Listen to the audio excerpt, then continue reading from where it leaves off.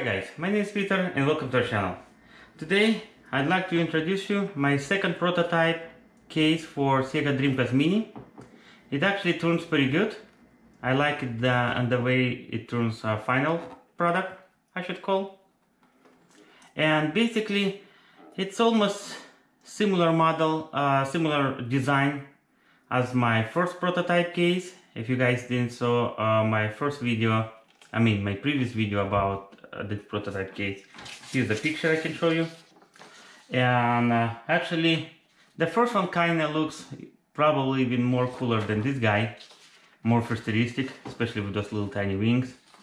And uh, the power switch was on the left side and almost looked like an intake, air intake, then four ports and a set button on the right side. Um, there's a few things going with that design I didn't like it. First of all, uh, then the console itself, it's almost a quarter inch thicker, the front portion, because I have to accomplish it, that big switch. And uh, I kind of didn't like it that. I redesigned it, now it's more slicker, more slimmer, and a little bit lighter than my first prototype pretty much there's no more wings uh, the power button it did uh, I did transfer it from front to back. It's in the back. Uh, reset button I move it from right side to left side. Also on the first prototype I mean this picture will not show there was a Dreamcast logo from Dreamcast itself. On my second prototype it's a it, it will have a Dreamcast logo from controller. It's much smaller since it's a Dreamcast Mini uh, logo supposed to be smaller as well.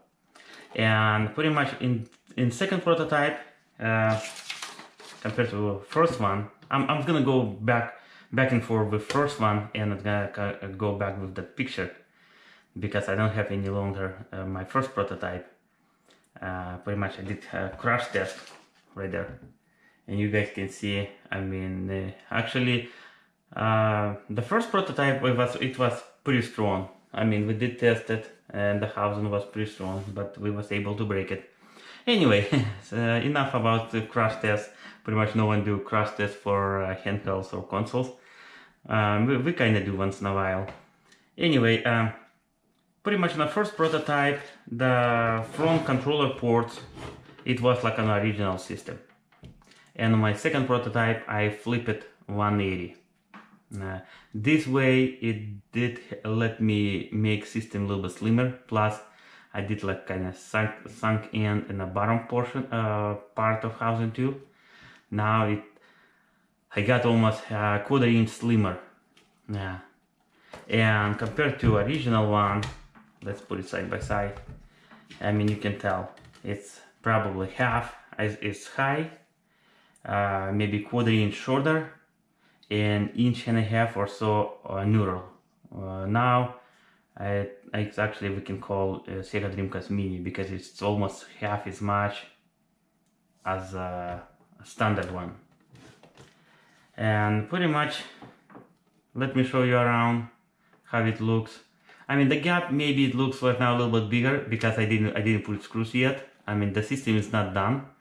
The back side here um, we got both original ports, uh, power port, uh, cooling vent, uh, power on off switch. The main switch uh, on off is gonna uh, it's on the back side instead of the front, and SD card slot. Uh, on the back, on the bottom power portion, same as was before. I just added four rubber feet, lots of cooling vents and pretty much this side same thing couple screws. It will hold it four screws two screws in each side and front like you just saw already it's got four ports. All around I'm really uh, uh, happy the way it turns. I painted uh, red color. I believe it's called red Ferrari color whatever it's called. I'm not really sure if it's uh, anything related to a Ferrari but it's really red. It's actually my first uh, console in red color. And here's the cooling vent uh, where the air will go in and that's uh, out. Let me open it and I will show you how it looks inside.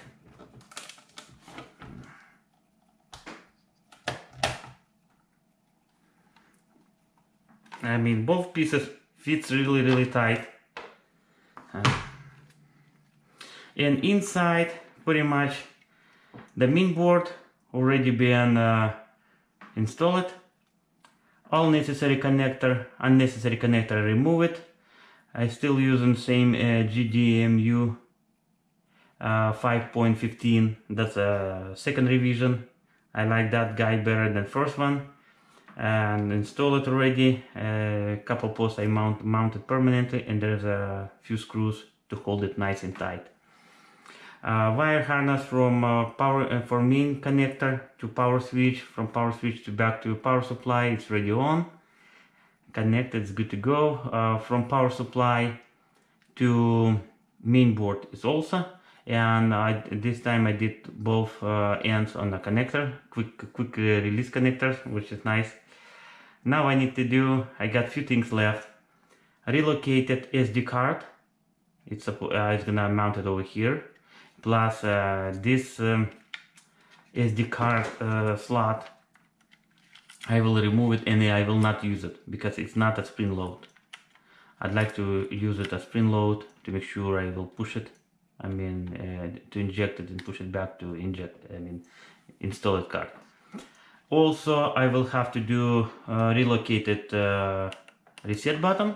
And reset button like I just mentioned is gonna be over here and then uh, also the controller board port or controller ports board I will have to relocate it uh, make my extended cable.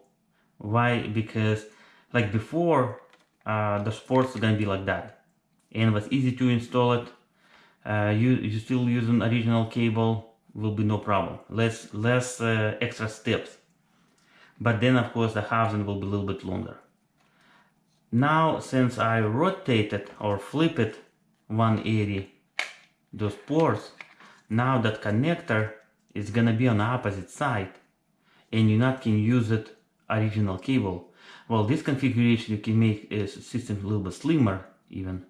I mean not slimmer the shorter.